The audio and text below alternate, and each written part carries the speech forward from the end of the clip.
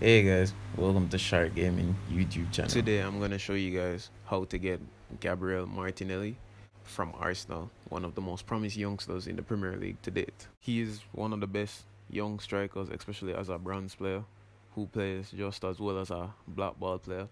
I'm going to max him out and I'm going to do a review on him as well because my subscribers are asking me. So just look out for that soon.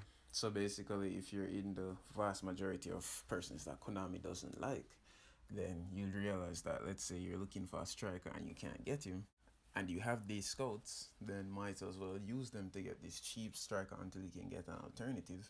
If not, you might even grow to like this striker because he, as well as Greenwood, are two of the best strikers in the game, and they're just bronze ball players. So yeah, if you enjoyed this video, don't forget to leave a like, comment, share, and subscribe, and recommend other players that I should find scout combinations for.